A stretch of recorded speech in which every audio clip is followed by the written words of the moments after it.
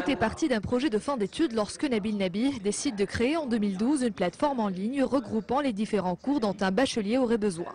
Depuis, son site mobilise plusieurs professeurs bénévoles qui réalisent un ensemble de tutoriels vidéo destinés aux bacheliers. En trois ans, plus d'un million de bacheliers ont visité le site et profité des cours expliqués dans des tutoriels vidéo. Nous avons 650 vidéos disponibles et l'objectif maintenant est de mobiliser davantage d'intervenants pour atteindre les 7000.